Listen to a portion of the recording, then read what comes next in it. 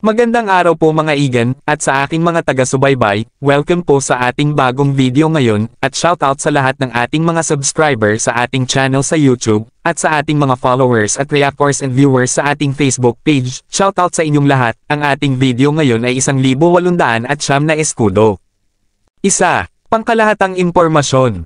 Ang 1809 eskudo ay isang gintong barya na inilabas sa ilalim ng pamahalaan ng Espanya noong panahon ng Spanish colonial rule sa Pilipinas. Ang eskudo ay isang unit ng pera sa Spain at sa mga kolonya nito mula pa noong medieval period. Ang eskudo ay tinukoy bilang isang mataas na denominasyon ng barya na karaniwang ginagamit para sa malalaking transaksyon. Dalawa, paglalarawan ng barya. Obverse, harap na bahagi. Imahe ng monarko sa harap ng barya, makikita ang larawan ng monarko ng Espanya noong 1809, si Ferdinand VII.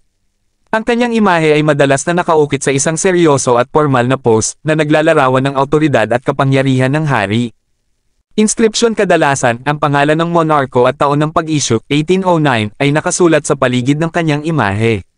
Ang inscription na ito ay nagbibigay ng konteksto sa barya at nagpapakita ng opisyal na petsa ng issue. Reverse, likod na bahagi. Coat of Arms ng Espanya Ang likod ng barya ay karaniwang naglalaman ng Coat of Arms ng Espanya na may mga haligi ng Hercules sa magkabilang panig. Ang Coat of Arms ay simbolo ng monarkiya at teritorial na integridad ng Espanya. Inscription ng laso na nakapalibot sa Coat of Arms ay nagdadala ng inscription ng Plus Ultra na nangangahulugang, higit pa. Ito ay isang makasaysayang moto na nagpapakita ng expansion at ambisyon ng imperyo. Paghahati ng mga simbolo ang coat of arms ay maaaring maglaman din ng iba pang mga simbolo ng kolonya o rehiyon na nagpapakita ng koneksyon ng barya sa isang partikular na lugar ng imperyo. Tatlo, teknikal na detalye. Material ang 1809 escudo ay gawa sa halos purong ginto, karaniwang may puridad na nasa pagitan ng 70% hanggang 72%. Ang ganitong puridad ay nagpapahiwatig ng mataas na kalidad ng ginto na ginamit. Diameter ang barya ay may diameter na humigit kumulang 37 mm, na mas malaki kumpara sa maraming iba pang barya mula sa parehong panahon. Timbang ang timbang nito ay humigit kumulang 27 gramo. Ang bigat ng barya ay nagbibigay ng indikasyon ng halaga nito at ang likas na yaman ng imperyo.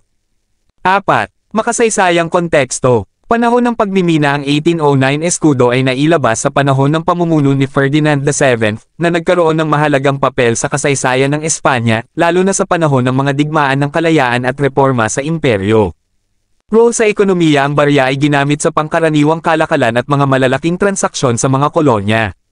Ang mataas na denominasyon nito ay nagbigay ng malaking halaga sa mga transaksyon at nagpatibay ng sistema ng pera sa panahon ng Spanish colonial rule. Koleksyon ng mga barya mula sa panahon ng Spanish colonial rule ay mataas ang halaga sa mga collector ng barya. Ang estado ng pagpapanatili ng barya tulad ng kung ito ay well-preserved o may mga palatandaan ng pagkasira, ay maaaring makaapekto sa halaga nito sa merkado. 5. Pagkolekta at preservation. Market value ang 1809 escudo ay isa sa mga sought after na barya sa mga collector dahil sa kanyang kasaysayan at material. Ang kondisyon ng barya ay isang mahalagang salik sa pagtukoy ng halaga nito sa mga auction at merkado ng mga koleksyon. Preserbasyon ng maayos na pag-iingat ng barya ay mahalaga upang mapanatili ang kanyang halaga.